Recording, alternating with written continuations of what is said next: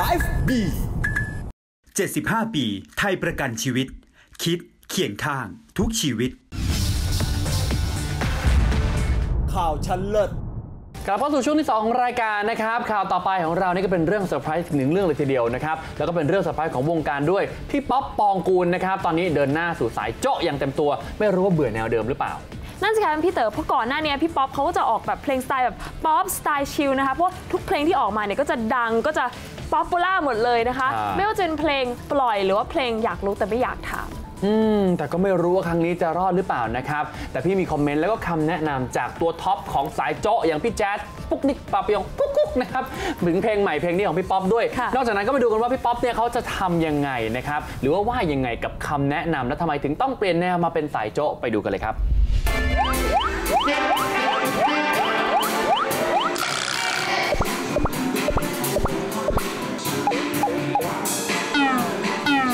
ริงๆมันคือรุกกรุงใช่ครับ มันด้วยมันด้วยตัวเพลงด้วย ก็ประมาณประมาณ 70 60 70อะไรเงี้ยคใช่รับเราก็เลยรู้สึกว่าเออเฮ้ยเราอยากจะให้ธีมมันเข้ากับเพลง เราก็เลยแต่งตัววินเทจฉากประกอบเอยอะไรอย่างดูเงี้ยแบบว่า สวยงามเลยใช่ ผมว่าผันไปร้องแนวนี้เนี่ยคงคงไม่ อ่า แต่การแต่งตัวแนวเนี้ยผมว่าผมจะติดตัวผมไปอีกประมาณอีกสี่ห้าปีผมจะแต่งประมาณนี้ จริงเหรอ ใช่ ถ้าไม่เห็นมึงแต่งกูให้เลยนะ มึงต้องแต่งด้วยกันดิบ้าไม่ได้มีงานด้วยกันทุกวัน ต้องไปเนี่ยแต่งอย่างเงี้ยมันดูดีบ้าเพลงใหม่ผมฮิปฮอปมันนี่ไงก็ฮิปฮอปนี่ไง นี่สไตล์ อ๋อกุชชี่ มีกุชชี่มี Oh yeah, baby แนะนำว่า เวลาเต้นให้อาขาเยอะๆ ถ้าเวลาร้องเพลงพวกเนี้ยอย่าเต้นแบบแบบว่าขาชิดนะฮะ เดี๋ยวมันจะเบียดมันจะไหมมันจะเป็นรอยดำๆข้างๆขา เพราะคนอ้วนเป็นกันเยอะนะฮะเขาเป็นห่วงแค่ตรงนี้เท่านั้นเอง แต่ว่าโหอย่างพี่ป้อมเขาสุดยอดแล้วครับ โอ้โห ผมไม่รู้จะพูดอะไรกับผู้ชายคนนี้นะ มันเขามหัศจรรย์อยู่แล้ว พี่แจ๊ด เมนต์เกี่ยวกับเพลงซิงเกิลใหม่ล่าสุดคิดว่าถูกไหมคนแบบนั้นอย่าให้มาคอมเมนต์เพลงเราเลยครับ อ้าว ให้เขาดูแลตัวเองก่อน ไม่คุณจะไปพูดอย่างนี้ เดี๋ยวคนก็รู้เรื่องเมียน้อยก็หมดหรอกใช่ดิก็มีน้อยเขาที่อยู่ลำปางไงบ้าลำปางเลิกแล้ว เอามีมีใหม่แล้วเหรออยู่ที่ตังตังค์หรือว่าอยู่ที่ตังค์ในกระเป๋าอยู่ที่ตังค์ในกระเป๋าเนี่ยมันอะไรอยู่วะเนี่ยเฮ้ยผมว่าตอนนี้พี่แจ๊ดดูแลตัวเองก่อนนะครับ ดูแลเรื่องครอบครัวตัวเองก่อน เก็บปากไว้กินข้าวเถอะครับพี่ครับ อย่าหาเรื่องมาหาใส่ตัวผมเลยนะครับผม พี่อย่าโทษผม พี่โทษทีมงานทีมงานเขาอยากให้ผมอะมามาพูดถึงพี่แล้วพี่อยากจะพูดอย่างนี้กับผม ผมขอร้องให้ผมเดินสะดวก ทุกวันนี้ทำอะไรก็มีแต่เรื่องอยู่แล้ว อย่าขุดนะครับผม อย่าขุดไหว้แล้วนะครับผม 4 กันยายนนะครับ ปล่อยเพลงนะครับครับผมแล้วเก็บแล้วครับ อ่า4กันยายนช่วงกลางคืนนะครับ ปล่อยเลยแป๊บเดียวล่ะ ปล่อยให้มันจะอยู่ยาว จากสายโจ๊ะมาถึงเรื่องแข็งๆอ่อนๆกันบ้างพี่เต๋อ ก็คือเรื่องมันมีอยู่ว่ามันมีคู่ฟาดคู่ฮอตคู่ใหม่ของวงการนั่นคือครับพี่ฮั่นกับพี่โม ในเรื่อง Bangkok Rack Story ซึ่งแพ้ทางนะคะ คือตั้งแต่แรกเราก็รู้ว่าเขาอะชอบชอบกัดกันชอบฟัดกันอะไรอย่างนี้อ่าในเรื่องนะในเรื่องในเรื่องเขาไม่ถูกกัน ก็เลยอยากจะมาบอกให้รู้ว่าจุดแข็งของพี่ฮั่นคืออะไรเออแต่ถ้าติช่าอยากจะรู้จุดแข็งของพี่ฮั่นพี่ก็อยากจะรู้จุดอ่อนของน้องโมด้วยเช่นกัน อะแปลว่าเราอยากรู้กันมาก อยากรู้มาก อยากรู้ว่าของแข็งอันนี้อยากรู้ของอ่อน โอเคค่ะ เจ๊ส่งทีมงานไปสัมภาษณ์แล้วค่ะ ไปดูกันค่ะ จุดอ่อนของโมอะครับ น่าจะเป็นในเรื่องของนอนน้อย เป็นคนแบตเตอรี่ต่ำอะไรเงี้ยนะ ก็ทุกครั้งเวลามากองก็จะง่วงตลอดเวลา น้องทำงานเยอะไง มีเขาเรียกว่าถ่ายละครหลายเรื่องอะไรเงี้ย แล้วก็พอมาเจอที่กองอะไรเงี้ย แต่ไม่ใช่ว่าทำงานไม่ดีนะ หมายถึงว่า เขาจะมีโหมดออโต้ไพลอตของเขาเวลาเขาทำงานเนี่ยเขาจะทำได้แบบทำทำทำเวลาพ่วงกับสังคัดปุ๊บเขาจะแบบเขาจะแบบนอนหลับตัดบทตัวเองได้เร็วมาก ถ้าจุดอ่อนของใบตองนะครับ ผมว่าน่าจะเป็นชีสเค้กไม่ว่าจะทำอะไรก็ตาม ถ้าเกิดมีชีสเค้ก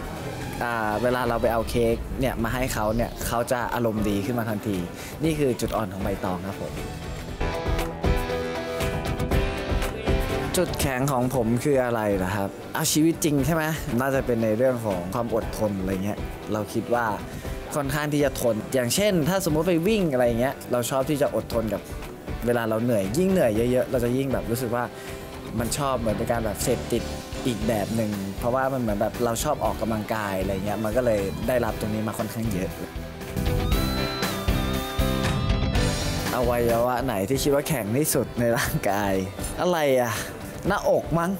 อืมหน้าอกน่าจะแข็งสุดตอนเนี้ยเพราะหน้าอกใหญ่แล้วจจุดแข็งของแท่นที่เป็นตัวละครในเรื่องน่าจะเป็น นิสัยนะครับผมนิสัยบ้าอำนาจอันเนี้ยเป็นจุดแข็งของเขารู้นะมึงไปตกลงกับเขาทำไม ทุกวันอาทิตย์เวลา 5 โมงเย็นนะครับผม อย่าลืมติดตามชม Bangkok Rock Story แพ้ทางนะครับ พวกเรารอคุณอยู่ครับ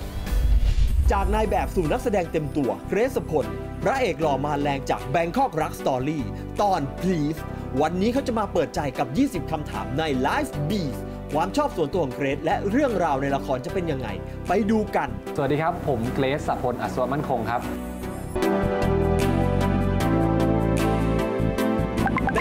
มีเวลาว่างกี่วัน จริง ๆ แล้วตกตกอาทิตย์หนึ่งก็จะว่างประมาณวันหนึ่งสองวันอะไรเงี้ยครับถ้ามีช่วงวันว่างแบบลองวีคเอนชอบไปเที่ยวทะเลหรือภูเขาข้างภูเขาครับทำไมถึงชอบภูเขาเพราะว่าเกเป็นคนชอบต้นไม้อะไรเงี้ยครับชอบความร่มรื่นมากกว่า พอเราเริ่มโตมาแล้วก็ชอบการไปลุยๆอะไรอย่างงี้มากกว่าเดินเขาอะไรเงี้ยครับทริปล่าสุดไปที่ไหนมาทริปล่าสุดที่ไปมาเป็นเกาหลีครับ ไปกับใคร คนพิเศษหรือเปล่า ไปกับคนพิเศษ คุณพ่อแล้วก็คุณแม่ครับแล้วก็พี่สาวเวลาไปทะเลชอบใส่เสื้อผ้าแบบไหนส่วนใหญ่ใส่เป็นขาสั้นแล้วก็เป็นเสื้อ ออกแนวฮาวายฮาวายหน่อยครับแบบสบายๆพริ้วๆอะไรเงี้ยครับถ้าถามถึงความชอบเราชอบผู้หญิงแบบไหนจะชอบผู้หญิงที่เล่นครับแบบตลกตลกๆอะไรเงี้ยครับเพราะเกเป็นคนกวนๆอยู่แล้ว เวลาคุยกันก็จะง่ายๆอย่างงี้นะครับสบายเวลามองผู้หญิงจะมองส่วนไหนเป็นอันดับแรกๆน่าจะเป็นหน้าครับ ใช่เป็นหน้าเพราะว่าเราแบบเดินผ่านกันแล้วก็น่าจะเห็นหน้าก่อนอยู่แล้วครับ ส่วนไหนในร่างกายของเราที่คิดว่าชมพูที่สุด โอ้โห เพราะเป็นแก้มครับเวลาเขินเอ่อมันจะเกะชมพูขึ้นมาอย่างเงี้ยครับคิดว่าส่วนไหนของเราที่มีเสน่ห์ที่สุด ผมว่าน่าจะเป็นรอยยิ้มครับใช่ผมเป็นคนขี้เล่นไงครับเวลาทำอะไรก็จะยิ้มตลอดเวลาอย่างเงี้ยครับหลายคนคิดว่าหุ่นเรามีเสน่ห์เราคิดยังไง ก็อาจจะเป็นเพราะว่าเกสออกกำลังกายแล้วก็คนที่ชอบแบบ workout อะไรเงี้ยครับมันก็จะ มี six pack บ้าง ช่วงหลังทำงานก็จะหายหายๆนิดนึงอะไรเงี้ยครับ บอกข้อดีที่สุดของเรามาหนึ่งข้อ น่าจะเป็นผู้ชายอบอุ่นครับ เป็นคนที่จะคอย take care แล้วก็ใส่ใจคนอื่นตลอด ประโยคแซบแคปให้ด้วย ลองดูสตั้งละกันอะไรเงี้ยครับ อย่างมากก็แค่อกหัก เอด้าเคสเพียงฟ้าคนไหนโดน เอด้านะครับ เพราะว่าเป็นคนที่มีความมั่นใจในตัวเองสูงครับ อยากทำอะไรทำเลยอะไรเงี้ยฮะฝนเมโกะใบเตยคนไหนที่ใช่ผมว่าจะเป็นพี่ใบเตยครับเขามีความน่ารักน่ารัก ของเขาอยู่อะไรเงี้ยครับ ใครหล่อที่สุดในพลีสแต่ละคนก็มีคาแรคเตอร์ของตัวเองครับหล่อสุดในพลีสน่าเป็นป้องครับหัวคุณป้องเนี่ยเขาหล่อที่สุดแล้ว เล่าความรู้สึกครั้งแรกที่ต้องเข้าฉากกับฝน ตลกตลกดีแต่ก็จะเกรงๆกันหน่อยครับเพราะว่าเป็นการเจอกันครั้งที่สองครับหลังจากที่ fitting อะไรเงี้ยครับแต่ฝนก็คอยช่วยคอยแบบคอยชวนคุยตลอดเวลาเข้าฉากเข้า scene กันก็จะแสดงง่ายขึ้นอะไรเงี้ยครับเคยชอบผู้หญิงที่ไปชอบเกย์หรือเปล่าโอ้โหอันนี้ไม่น่าเคยครับ ไม่น่ามีครับ ถ้าผู้หญิงคนนั้นเป็นเพื่อนสนิทจะช่วยยังไง ผมว่าผมคงช่วยอะไรมากไม่ได้ครับ อย่างน้อยก็คงแค่อยู่กับเขาในเวลาที่เขาแบบรู้สึกแบบ fail หรืออะไรอย่างนี้มากกว่า ในกองสนิทกับใครมากที่สุด ฝนนะครับ เพราะว่าต้องเข้า scene ด้วยกันบ่อยมาก ใช่ครับ เพราะว่าตัวป้องกับตัวเอด้าเนี่ยจะอยู่ด้วยกันบ่อยนะครับช่วงหลังๆอะไรครับ ก็เลยแบบต้องเข้าฉากต้องพูดคุยกันเยอะขึ้นอะไรเงี้ยครับ ถ้าสามารถเล่นเป็นใครก็ได้ใน Please อยากเล่นเป็นใคร เป็นเบนครับ เพราะเราอยากรู้ว่าแบบ เออถ้าเราไปเจอคนที่แบบต้องความสัมพันธ์แบบเป็นได้แค่เพื่อนแต่ว่าเป็นแบบเฟรนด์วิ t เบนฟิตมันจะเป็นยังไงอะไรเงี้ยครับแบบดูเขาเสียใจมากอะไรเงี้ยครับอะไรเงี้ยเคยรักคนที่ไม่สมควรรักหรือเปล่า มันก็มีนะครับ แต่ว่าอยู่ที่ว่ามันเป็นรักที่ไม่ควรรักแบบไหนมากกว่า ถ้าถามว่าในชีวิตประสบการณ์ตัวเองก็เคยมีครับ พยายามแล้วเราพยายามอย่างที่สุดแล้วอะไรเงี้ยครับ แต่ว่ามันก็ไม่สำเร็จก็ไม่เป็นไรครับ ก็อย่างมากก็แค่อกหักคิดว่าป้องเท่ที่สุดตรงไหน ผมว่าน่าจะเป็นที่เขายอมเสียสละตัวเองอะครับ เขาชอบคนคนหนึ่งแต่ว่าการที่เราได้เห็นคนที่เรารักอะครับ มีความสุขอยู่และอยู่กับเขาในเวลาที่เขาทุกข์อะครับนั่นเป็นสิ่งที่ผมว่าเป็นจุดดีและก็เป็นเสน่ห์ของปอกฝากติดตามเกรดด้วยนะครับ ในซีรีส์ Bangkok Rock Story นะครับ ตอน Please นะครับ ทุกวันเสาร์5โมงเย็นนะครับ ทาง GMM 25 ครับ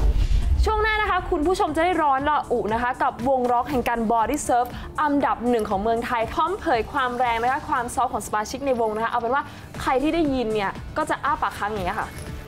ถ้าวันหนึ่งต้องเลิกเล่นดนตรี